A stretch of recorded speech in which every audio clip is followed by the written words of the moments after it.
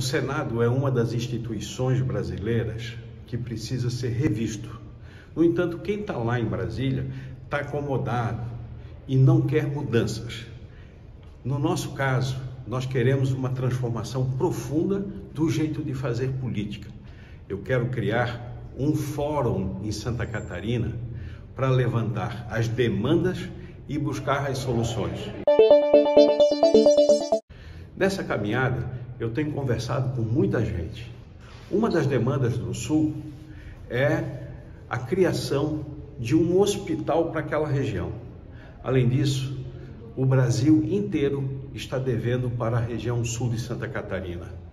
A forma como foi feita a exploração do carvão deixou um grande problema e é preciso haver uma compensação. O nosso compromisso é também apoiar a educação e temos a experiência, inclusive, da SATIC como uma experiência de educação profissional. É o nosso compromisso.